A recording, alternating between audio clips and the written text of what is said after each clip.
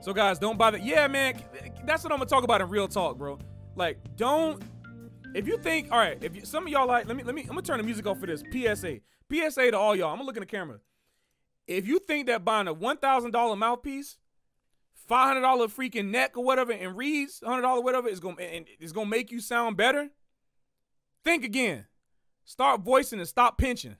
All right. I want I, I, want I want that joint to be like a video game. That joint need to be locked. I think the mouthpieces and saxophones and stuff got to be locked until you learn how to play. Because cats need to stop doing that and thinking they can play by buying that stuff.